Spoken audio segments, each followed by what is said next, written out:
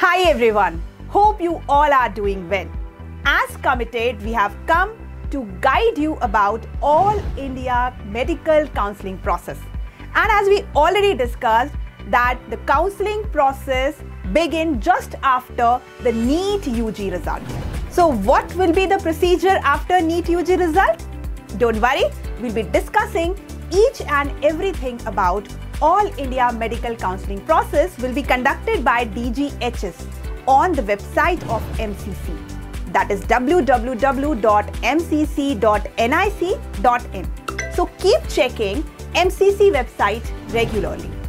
What we need to do there, what would be the steps, those I'm just telling you. Just note down them. After NEET UG result, you have to go to the MCC website and after registration, you need to pay the registration amount plus security amount. At the time of registration, there will be several options to choose. What these options are? Have a look on the screen. AIQ, AIIMS, JIPMER, ESIC, AFMC, Central Universities and the deemed universities. Whichever options you will choose, Accordingly, you will get the list of relevant colleges. And from those colleges, you can go for the choice filling. And accordingly, you need to just pay the amount there also for the registration process. From the available options, except for the deemed universities, the security amount is 10,000 rupees and the registration amount is 1000 rupees. While if you're talking about the deemed university, then amount will be changed it will be 5000 rupees the registration amount and 2 lakh rupees the security amount. Now after the submission, you have to fill the choice of the college of your interest in top to bottom order for the round 1. And one thing is very very important that there is no limitation of filling the choices.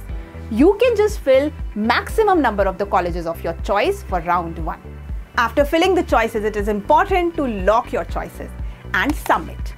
After 3-4 days, you will get the round 1 college allocation list where on the MCC website only you have to log in using your credentials. Now what next? If in the round 1 you are getting a college, then you have two choices. Either you are willing to join that college or you are not willing to join that college. If you're willing to join that college, you have to report to the college and you have to submit your original documents. Further, for round 2, you are also eligible for updation. Now the second condition is if you are not willing to join that college, then what next? You are eligible for round 2. Once again, you don't need to register once again. You have already registered for the round 1. You can directly go to the round 2 if you are willing. Now let's talk about round 2. For the round 2, once again, you have to go to the MCC website for filling of the choices once again. And what about the choices of the round one? They are null and void now. So you have to choose the choices once again. You have to lock your choices and submit. Wait for 2-3 days and then once again you will be getting a list of college allocation. Further in the round 2, if you are getting a college and if you are just willing to take admission, you have to report to the respective college with your original documents. What if you don't want to report to allotted college.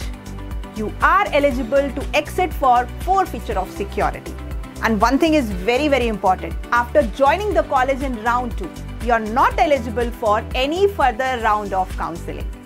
So now we talked about the most important round one and round two of all India medical counseling. What next? The next thing is the two more important rounds. The one is mop-up round and other is the stray vacancy round. Fresh registration and the choice filling will be there for mop-up round.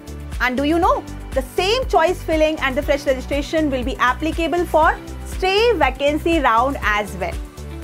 Now, the everything which we discussed for round 1 and round 2 will also be applicable here. So the process would be same. But we have to just focus on very important thing that few of the candidates are not eligible for mop-up round and the stray vacancy round. What these are? For mop-up round, Candidates who join the allotted seat in round 2 are not eligible for mop-up round. And what about stray vacancy round? Candidates who join the allotted seat in round 2 at mop-up. Candidates allotted a seat in mop-up round of MCC and not reported. Further, the candidates who have not registered in any of the previous three rounds will not be eligible for stray vacancy round. So what next? Remaining process, the procedure, the choice filling, the registration, everything is same as that was there in round 1 and round 2. I've already told you.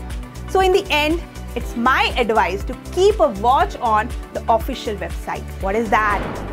www.mcc.nic.in. All the required details will be published there only. So, thank you so much for watching and all the very best and I hope you all are going to get a very good seat of your choice.